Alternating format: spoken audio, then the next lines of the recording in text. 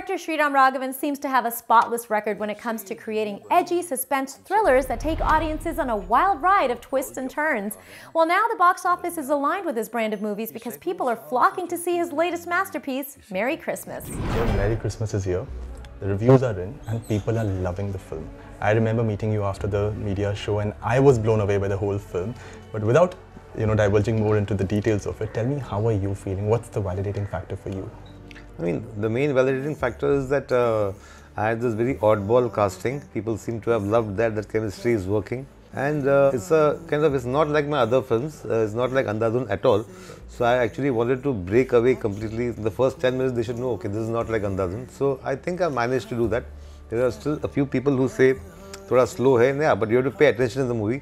And I think most audiences now, a little bit, they have become like, okay, passive viewing, you know, here you have to pay attention. That's the only thing. Christmas के दिनों में किसी को अकेले नहीं होना चाहिए offer you a drink?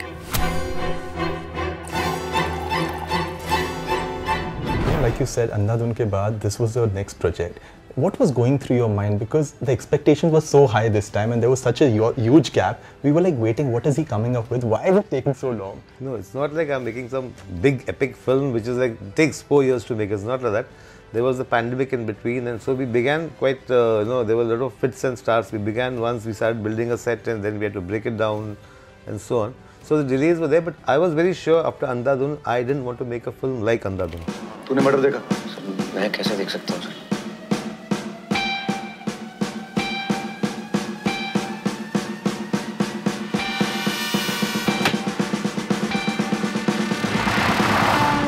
that would be sort of following a template and trying to do the same thing and cashing in on some success kind of thing. So while that was a sort of a twist festival or something like that, this one is like much more sort of, I, I call it a slow burner because you come to the hall and you're into a story and it's a very intimate kind of a, it's a, somewhere it's a love story in the garb of a thriller. You know? तो तुम single हो या मुझे देख के अपनी wedding ring pocket में डाल दी वो लंबी कहानी है बारह बजने वाली है Christmas saath manai. Since you mentioned about this odd casting, very unique, very wonderful. Were these your choices because you were making a film in two languages, so to appeal to the global and the and the audience? Well, the idea of making it in two languages came after Vijay Sethupathi was cast. Before that, it was supposed to be a Hindi film only.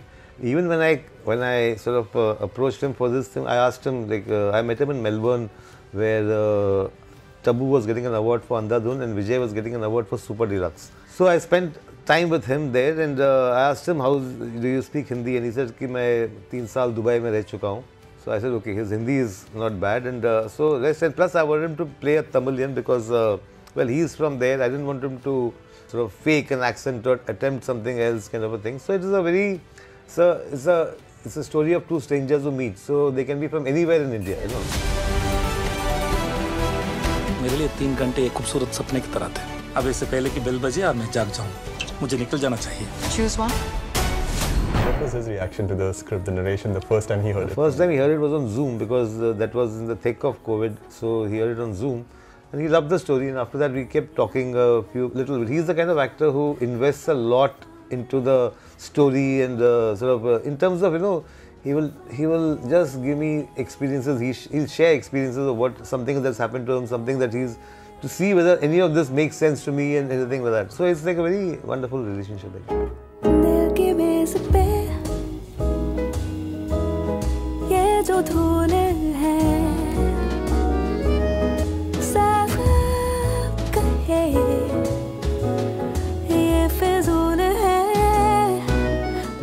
I believe she also works quite hard on her characters, right?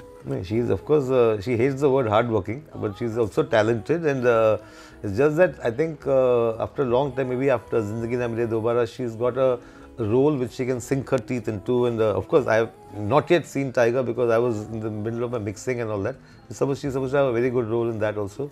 But uh, this, she loved the story, you know, she loved the story, and uh, after that, she was on. And we used to, I mean, there were two different kinds of actors, so that was interesting for me it was like an adventure. I mean, when making a film, even for me, it has to be a little bit of an adventure and a risk. That's the fun, you know. Right. Otherwise, if it's like completely huh, copy paste, it is no fun. The good Lord knew how to keep me in the right place at the right time. I'm a lone wolf. हम जिससे प्यार करते हैं वो मर जाए या हमारे लिए उसका प्यार मर जाए भरते तो हम यार Then you come up with a new project. Your previous ones gets a new new lease of life, I feel. Now your case in point is Ek Hasina Thi.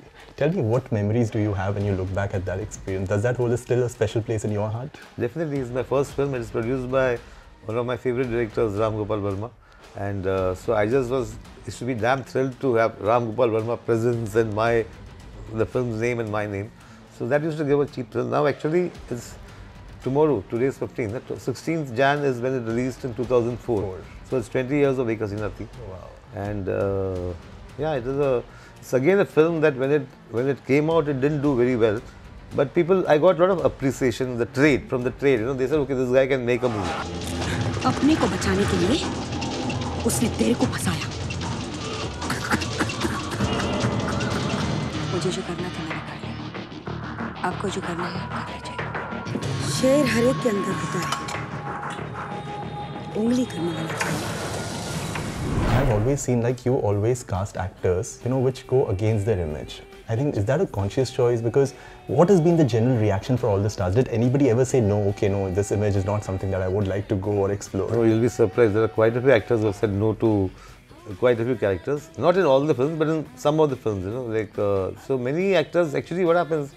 My like Johnny Gaddar, for example, is not a film which a hero would say, "Oh, this is a great story," because the hero is actually being a certain kind of a thug. Actually, no, it's a, I wouldn't call villain hero kind of thing. I don't really go for those demarcations or definitions. हम पाँचों के अलावा ये कोई जानता भी नहीं कि उसके पास इतनी बड़ी रकम थी सर यही सोचकर तो मैं परेशान हूँ ज़रूर किसी न किसी की ज़ुबान से निकल गया होगा गलती से तुमने तो कहीं कुछ ज़िक्र नहीं किया ना no sir But yeah, many actors have said. An- Andhadhun, I mean, seven or eight people have approached before Ayushman called me and uh, it happened. I'm glad that Ayushman approached and that Yeah, happened. yeah, yeah. That's actually so. That I feel somewhere there's that you know somewhere there's some angel of casting or whatever that happens. अंधा होने की problems तो सबको पता है फ़ायदा मैं बताता हूँ Hi, good evening. How are you? So, you know, your work is so diverse. Tell me which has been the most difficult story for you to tell or make and why? Well, you won't believe it, but the the one that nobody mentions that was the most tough to make, Agent Vinod, because that was like a bit of a globe trotting, and we are trying to do a bond and a Bourne. My my instincts and my sort of uh, I won't say expertise, but my I'm more in the Bourne kind of a film is what my I go for.